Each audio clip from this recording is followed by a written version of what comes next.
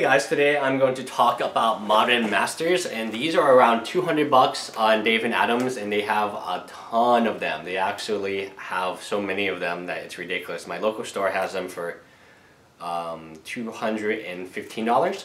Uh, so this one we're going to crack open for Dan later today.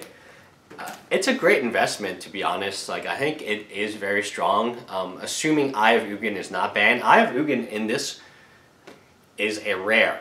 Like not a mythic. And then the Eldrazi Temple is a uncommon. So you're looking at cards that you're looking at uncommon. It's five or six dollars.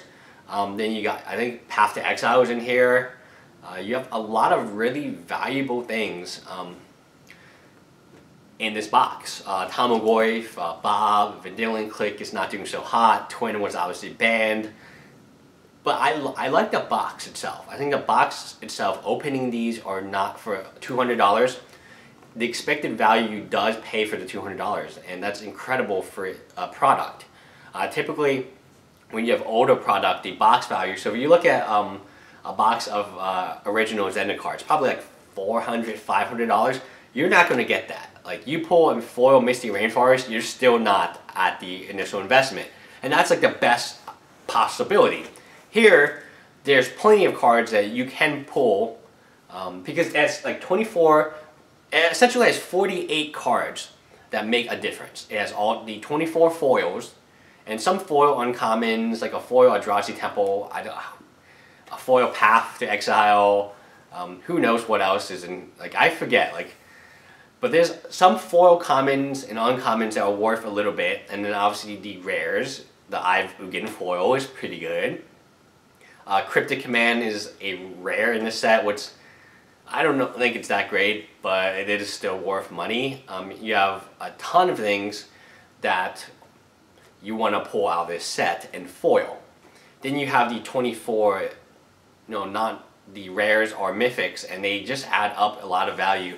So we'll see how it does today. Like, I don't know, like, honestly, like, this type of um,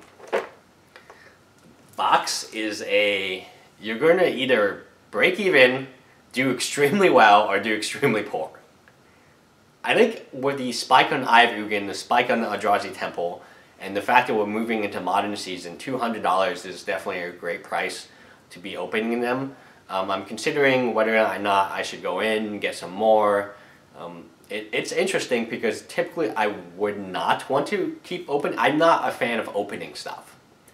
Um, I'm just not. Like, I'm more a fan of buying someone's collection or selling someone's collection, but not of like getting boxes to open. But the expected value on this is actually getting to the point where you might be able to make money opening these boxes at 200. Because um, when modern season comes, and it's coming, it's actually, it's already here, uh, and it goes until summer, the cards here are going to just skyrocket in price. Like, who knows? Like, I mean, if you when we first did the, um, if you watch Tiffany's video, uh, she actually opens, I, I believe, a regular of and a of and she doesn't even think anything of it because at that time it was nothing. Like, it wasn't worth any money. But this now has spiked. And there will be other random stuff that will spike. Uh, Noble Hierarch, yeah. I was like, hey, there's something that I really need from this set. Noble Hierarch. Steven, I need your Noble Hierarchs. Um, so Steven's my friend. I think he's going to take a break a little bit and I'll be able to get his Noble Hierarchs. Bye guys.